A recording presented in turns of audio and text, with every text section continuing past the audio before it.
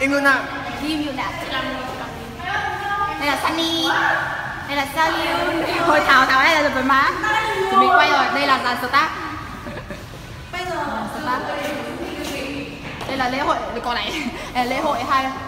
Noel, Noel. Đây là Yuri và New Year ở đấy có nhà vệ sinh không gì Không có đâu, đi té gốc cây đi.